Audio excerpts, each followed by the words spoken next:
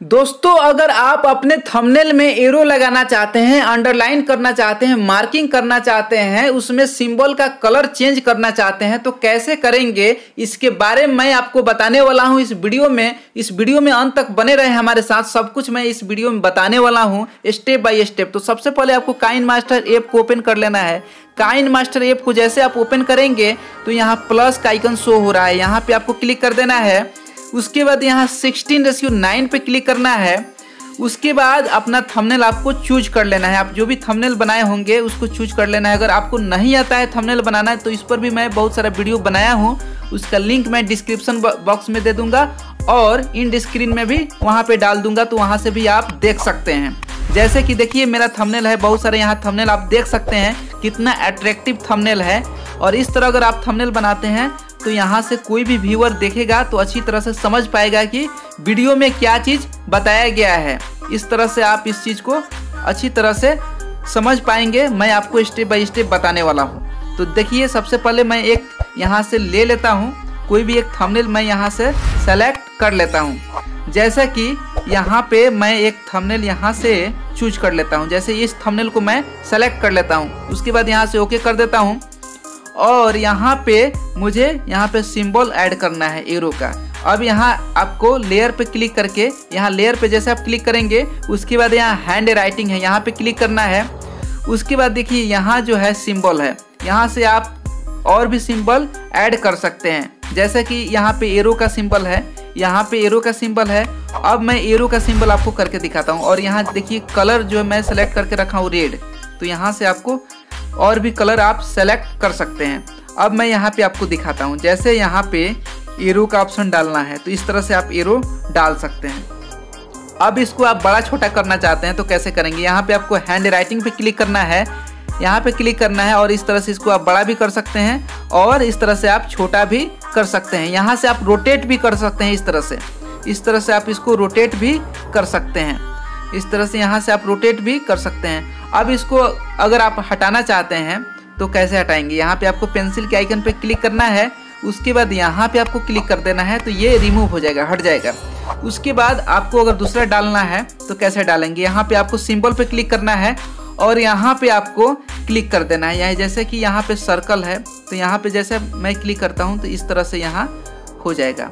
अगर आपको ये लगता है कि यह गलत हो गया तो यहाँ पे आप क्लिक करेंगे और ये हट जाएगा। उसके बाद यहाँ से आपको इस तरह से एडजस्ट कर लेना है इस तरह से। अगर आप इसको बड़ा छोटा करना चाहते हैं तो इस तरह से आप यहाँ पे क्लिक करके बड़ा छोटा भी कर सकते हैं इस तरह से। और इसका जो है, आप बड़ा करना चाहते हैं, जैसे साइड में जो है, आप देख सकते हैं कि यहाँ पे जैसे कि मैं आपको बताता हूँ, यहाँ पे जैसे मैं आपको दिखाता हूँ, जैसे यहाँ पे आप देख सकते हैं, जैसे यहाँ अंडरलाइन है, इसका कलर आप अगर आप चेंज करना चाहते हैं तो कैसे करेंगे? यहाँ पे क्लिक करेंगे और यहाँ से कोई भी कलर पे आप सेलेक्ट करेंगे। जैसे कि मैं आपको दिखाता हूँ। यहाँ पे मैं कलर इसका चेंज करके दिखाता हूँ। यहाँ पे मैं क्लिक करूँगा और यहाँ से ओके कर दूँगा।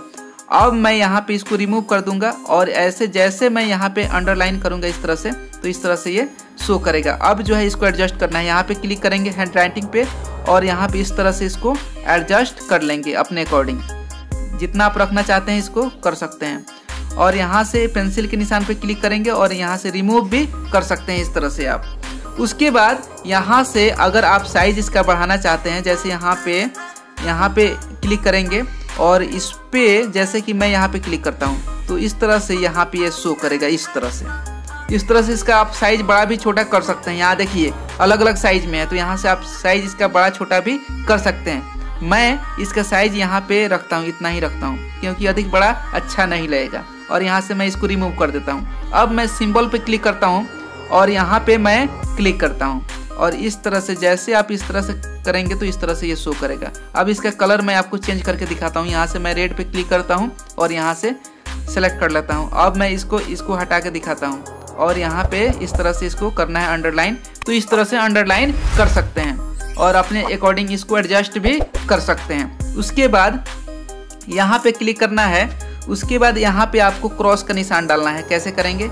यहाँ पे क्रॉस के निशान पे क्लिक करेंगे, यहाँ पे, और इस तरह से ये क्रॉस हो जाएगा। इस तरह से आप क्रॉस भी कर सकते हैं। अगर इसको हटाना है तो यहाँ पे क्लिक करेंगे, हट जाएगा। उसके बाद और भी यहाँ से आप मार्किंग कर सकते हैं। जैसे कि यहाँ पे किसी चीज़ को अंडरलाइन करना है तो यहाँ पे आप क्लिक करेंगे, और इस तरह से आप इसको अंडरलाइन कर पाएँगे। इस तरह से आप इसको अंडरलाइन कर पाएँगे आसानी से। यहाँ पे क्लिक करेंगे और इस तरह से इसको अंडरलाइन कर सकते हैं आसानी से। उसके बाद इसको मैं हटाता हूँ। उसके बाद देखिए, यहाँ पे मैं क्लिक करता हूँ और इस तरह से ये शो करेगा। इस तरह से देखिए, इस तरह से ये शो कर रहा है। तो इस तरह से आप और भी इसमें चेंजिंग कर सकते हैं अपने अकॉर्डिंग उसके बाद मैं यहाँ पे क्लिक करता हूँ। तो इसको मैं हटा देता हूँ। अब देखिए, इस तरह से ये शो कर रहा है। इस तरह से ये शो कर रहा है। तो इस तरह से आप इसको चेंज कर सकते हैं अपने अकॉर्डिंग मैं यहाँ पे और दिखाता हूँ, यहाँ पे किसी चीज़ को अगर आपको सर्कल डालना है और वहाँ मार्किंग करना है अब देखिए, यहाँ पे मैं क्लिक करता हूँ और इस तरह से, देखिए, इस तरह से ये शो कर रहा है। पूरी तरह से जो है ये मार्किंग हो गया। अब जो है यहाँ से मैं इसको हटाता हूँ और यहाँ से देखिए, इस तरह से यहाँ किसी चीज़ को जैसे आप लाइव में अपने वीडियो में लिखते हैं लाइव वीडियो तो इस तरह से आप करके, इस तरह से सिंबल डाल के इस तरह से आप सिंबल डाल डाल के और यहाँ पे लाइव वीडियो लिख सकते हैं। यहाँ से लिख सकते हैं तो इस तरह से यहाँ शो करेगा। उसके बाद मैं यहाँ सिंबल आपको चेंज करके दिखाता हूँ। यहाँ पे मैं क्लिक करता हूँ और इस तरह से ये शो करेगा। तो देखिए, इस तरह से मार्किंग करते हैं। दोस्तों, यहाँ से मैं इसको हटा लेता हूँ और यहाँ पे और भी यहाँ पे आपको क्लिक करके दिखाता हूँ। जैसे कि यहाँ पे है, इसको जैसे मैं क्लिक करूँगा तो इस तरह से शो कर रहा है। उसके बाद यहाँ पे सिंबल पे मैं क्लिक करता हूँ एरो पे तो इस तरह से यहाँ शो कर रहा है। तो दोस्तों, इस तरह से यहाँ पे मार्किंग करते हैं अंडरलाइन करते हैं सर्कल करते हैं। तो दोस्तों, मैं उम्मीद करता हूँ कि आपको वीडियो हेल्पफुल लगा होगा। अगर वीडियो हेल्पफुल लगा है तो वीडियो को लाइक कीजिए एवं चैनल को सब्सक्राइब कीजिए बेल आइकन को प्रेस कीजिए ऐसे ही हेल्पफुल वीडियो देखते रहने के लिए। दोस्तों, इसको एक्सपोर्ट करने के लिए आपको यहाँ पे क्लिक करना है। एक्सपोर्ट पे यहाँ पे जैसे आप क्लिक करेंगे तो यहाँ से ये एक्सपोर्ट हो जाएगा। सेव कैप्चर एंड सेव पे क्लिक कर लेना है तो ये एक्सपोर्ट हो जाएगा, आपके फ़ाइल में चला जाएगा।